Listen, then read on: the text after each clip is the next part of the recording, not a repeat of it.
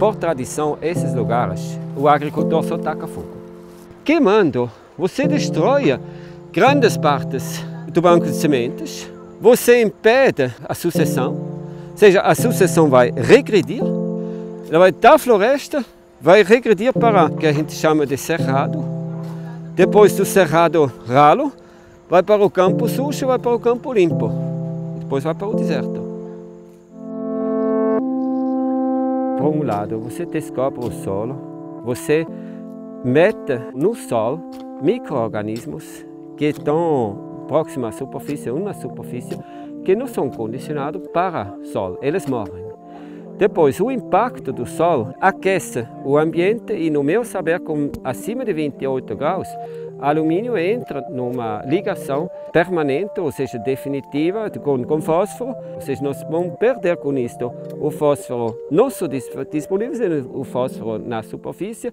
O fósforo é o, o meio que a vida usa para realizar processos de transformação, para indiretamente criar eh, condições para animais de porte grande, fósforo é indispensável. Tá? Quando não tem fósforo, temos poucos processos, muito poucos processos de fixação de nitrogênio. Então não vamos ter nitrogênio, então não vamos ter fósforo, a terra compacta e depois tem um efeito físico, termodinâmica.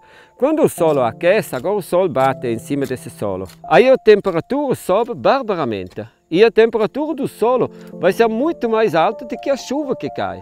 Então a chuva não vai entrar mais no solo, ele vai escorrer superficialmente, ou seja, nós vamos ter falta de água. Eu recomendo, por vários motivos, de roçar isso, mesmo com custos altos. Interessante é que é seco, esse material aqui choveu e você olha, ele é seco. Não viro, para não misturar horizontes.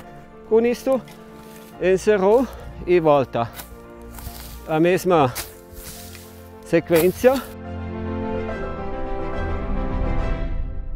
No início, eu prefiro pagar esse, esse preço, sabendo que esse aqui, no momento, é um valiosíssimo capital para começar os processos.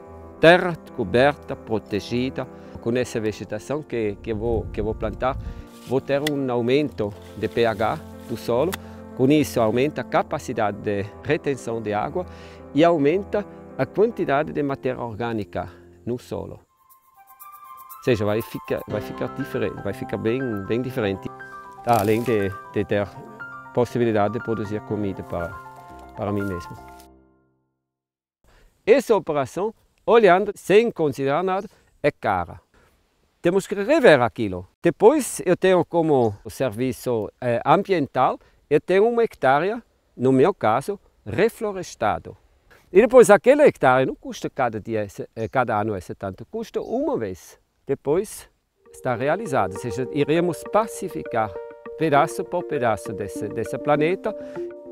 É um preço bem baixo para sanar feridas no momento incuráveis na sociedade moderna.